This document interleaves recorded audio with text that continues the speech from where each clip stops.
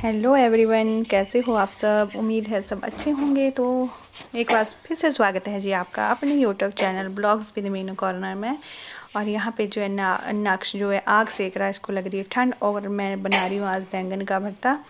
उसके लिए जो है मैंने रख दिए हैं। बैंगन को पहले गैस पे भून लिया था, अब इनके मैं छिलके उतारूँगी, और आज बनेगा हमारे घर पे बैंगन का भरता। तो चलिए बना लेते हैं आज बैंगन का।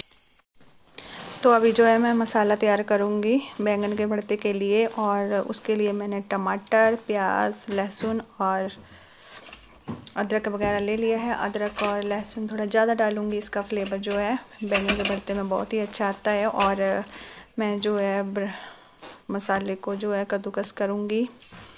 इससे जो है ठीक रहता है। मैं हर एक सब्ज़ी में ऐसे करती हूँ, फटाफट जो है कद्दूकस करके मसाला तैयार कर लेती हूँ। ये सबसे इजी तरीका रहता है। मैं जो है टमाटर, प्याज को इकट्ठा ही कद्दूकस करती हूँ और इकट्ठा ही भून लेती हूँ अलग अलग नहीं भूनती हूँ। आप भी एक बार ऐसे ट्राई करना, सब्ज़ी के टेस्ट में जो कोई फ़र्क नहीं आता है और सब्ज़ी बहुत ही टेस्टी बनती है। साथ में इकट्ठे कर दो। अभी जो है मैं अदरक कद्दूकस कर लूँगी।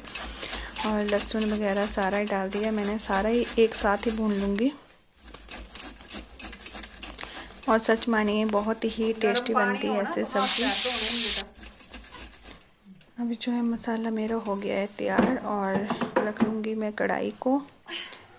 गैस पे बनाऊँगी आज क्योंकि मैं थोड़ी लेट हो गई हूँ। ये है हमारी चूल्हे वाली कढ़ाई इसीलिए जो है ये नीचे से काली रखी हुई है तेल हो चुका है गरम और इसमें जो है अभी मैं धनिया, जीरा ऐड कर दूँगी। तो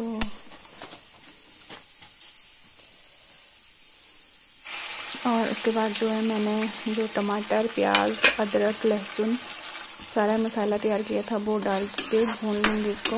ये सिंपल तरीका होता है सब्ज़ी बनाने का।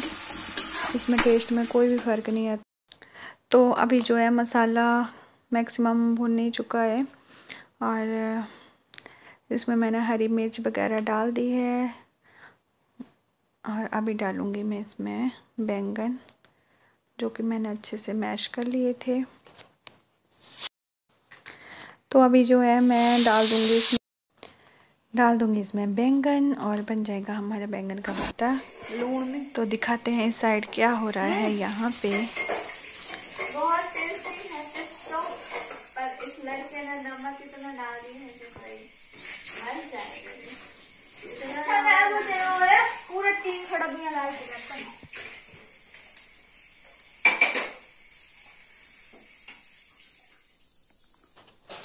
नक्श जो बना रहा था चिप्स, और ये है दूसरे दिन का वीडियो।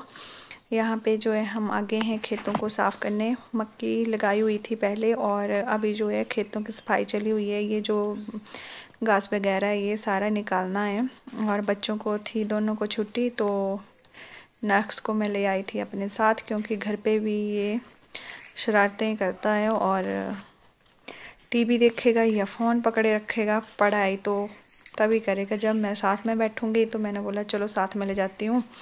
और थोड़ा साथ में रहेगा तो काम भी करेगा और घर में तो बस इसने फ़ोन देखना है। आराम और यहाँ पे ये निकाल रहा है मक्की के टंडू टंडू बोलते हैं तो अभी मैं जा रही हूँ घास काटने और आजकल चला हुआ है घास की कटाई का काम और दराटी मैंने ले ली है तो साथ में ले ली है मैंने पानी की बोतल। अभी जा रही हूँ घास काटने। तो अभी जो मैं पहुँच चुकी हूँ घास की खराटे में और आजकल जो है घास काटने का काम चला हुआ। है पहले जो मैं दुपट्टा बाँध लूँगी क्योंकि घास में जो बहुत सारी डस्ट होती है और धूप से बचाव हो जाएगा। ये बेस्ट तरीका होता है मुँह दुपट्टे बांधने का। अगर आपको धूप से बचना है, अपने फेस को बचाना है तो चलिए काटते हैं घास। आजकल मैक्सिमम सभी जो हैं घास काटने में लगे हुए हैं। कोई खेत खाली कर रहा है, कोई घास काट रहा है। दिवाली भी आ रही है, लेकिन गाँव के लोगों का ये काम चला हुआ है। साथ में सफ़ाई वगैरह भी कर रहे हैं। लेकिन जितना शहरों में होता है ना, वैसे इंजॉय हो नहीं पाता है, क्योंकि हमारे इधर जो है बहुत ही काम होता है। काम करना पड़ता है।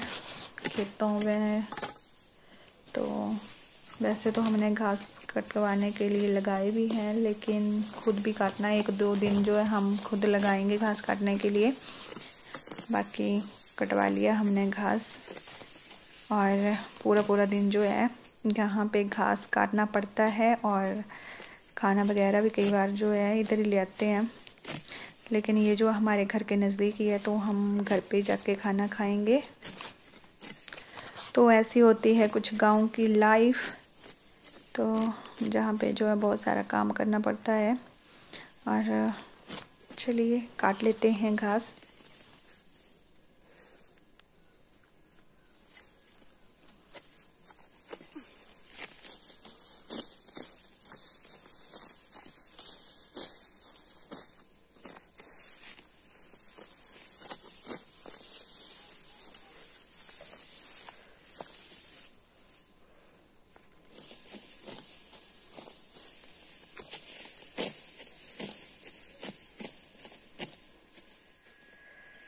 तो अभी जो है हमने इतना घास काट लिया है, मम्मी जी भी आए हुए हैं साथ में और ये जो है हमारा यहाँ पे घास कट कर लिया है और वहाँ आगे तक जो है ये सारा घास कट करना है।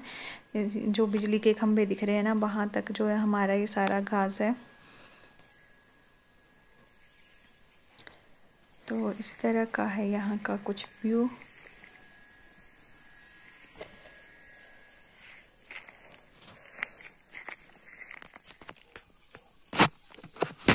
तो अभी जो है हमारा घास सूख चुका है और हमें इसे ढोना है तो मैं जा रही हूँ घास ढोने। डैडी जी जो रेटे बाँध रहे हैं तो हमें लाने रेटे ढोक के और नाक को मैं अपने साथ लेके जा रही हूँ, क्योंकि ये इसको घर में छोड़ूँगी ना तो बस ये शरारतें करेगा, इसलिए मैं इसको साथ में ही रखती हूँ, क्योंकि ये बहुत सारी शरारतें करता, घर में अकेले रख के फिर। तो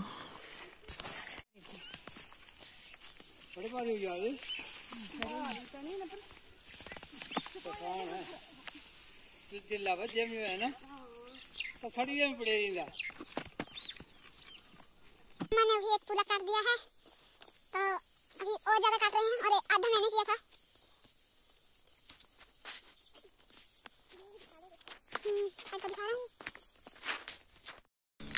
देख सकते हो आप नक्स जो है घास काट कर रहा है और मना करने के बावजूद भी नहीं मान रहा है।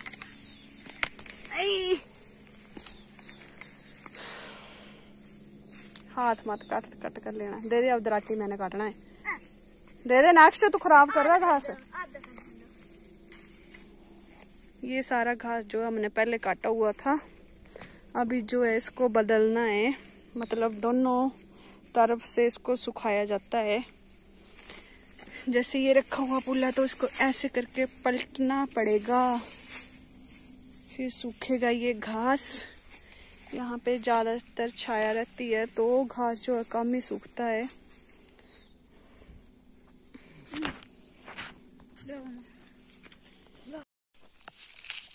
घास जो है मैंने कट कर लिया है और अभी जो है दोपहर का टाइम हो रहा है, बारह बज रहे हैं तो अभी जो मैंने घास को पलटी करना है। दोनों साइड से सुखाना पड़ता है। यहाँ पे जो है पेड़ बहुत ज़्यादा हैं तो घास जो है थोड़ा टाइम लगा के सूखता है तो मैं देख रही थी इसको धूप धूप में डाल दूँ आगे करके। और यहाँ तक यहाँ देख सकते हो आप कैसी पहाड़ियाँ ये। नीचे यहाँ पे खाई है, गहरा है, और पेड़ ही पेड़ हैं तो फिर छाया रहती है यहाँ पे। अभी जो मैं घास लेके आ गई हूँ रास्ता आप देख सकते हो कैसा रास्ता है। यहाँ पे चला हुआ था रोड का काम तो सारी मिट्टी जो है यहाँ नीचे की तरफ़ फेंकी हुई थी तो रोड हमारा जो रास्ता भी बंद हो गया है। थोड़ा थोड़ा रास्ता खुद ही बनाया हुआ है आने जाने के लिए। और ये हमारा डेली का ही काम होता है। रोज़ जो है हमें घास लाना ही पड़ता है सुखाना है। और अभी जो है चली हुई है साथ साथ में दिवाली की सफ़ाई भी हमारे घरों के आसपास जो है खुला एरिया होता है तो काफ़ी सफ़ाई करनी पड़ती है। घरों के अंदर तो चलो करनी पड़ती है, लेकिन बाहर भी हमें आसपास में खूब सफ़ाई करनी पड़ती है। तो ऐसा है कुछ जी, सफ़ाई का काम चला हुआ हमारा। साथ साथ में जो है खेती बाड़ी का खाना वगैरह, कपड़े धोना, ये सारा ही काम और साथ में सफ़ाई, बाकी जो खेतों वगैरह का चला, वो सारा ही काम करना पड़ता है। बच्चों की पढ़ाई वगैरह भी देखनी पड़ती है साथ में। हमारे मकान का काम चला हुआ था पहले जो तो घर का काम चला हुआ था तो यहाँ पे जो था, बोरी वगैरह फेंकी हुई थी। और लकड़ियाँ वगैरह रख, लकड़ियाँ वगैरह रखते हैं हम तो यहाँ पे थोड़ा कूड़ा पड़ जाता है। और ये बना रही हूँ मैं दोपहर का खाना तो जिसने भी मेरे चैनल को सब्सक्राइब नहीं किया है प्लीज़ मेरे चैनल को सब्सक्राइब कर दीजिएगा और लाइक शेयर ज़रूर कीजिएगा। सब्सक्राइब भी ज़रूर कीजिएगा। तो आज बन रही है राजमा की दाल। तो मैं हो गई हूँ थोड़ी लेट क्योंकि मैं घास से, घास लेके आई हूँ अभी और दाल मैं सुबह ही बॉईल कर देती हूँ। तो अभी जो मैं पहले जो है चावल डाल लूँगी और उसके बाद जो है दाल को तड़का लगाऊँगी क्योंकि चावल बनने में टाइम लगता है और दाल को बस तड़का ही लगाना है। तो ये जल्दी खाना बनाने का आसान तरीका है। पहले आप चावल चढ़ा दीजिए और उसके बाद जो आराम से तड़का लगा लीजिए, तब तक जो है चावल बन जाएँगे और आपका खाना जो जल्दी बन जाएगा। आज जो है संडे का दिन है और बच्चों के लिए मैंने जो है राजमा बनाए हैं। तो बच्चे जो है राजमा की दाल पसंद करते हैं ज़्यादा तो मैंने बोला चलो आज संडे है तो राजमा दाल ही बनाती हूँ। और मैंने हमेशा की तरह जो है, टमाटर, प्याज को साथ में कद्दूकस कर लिया है और साथ में ही भून लूँगी।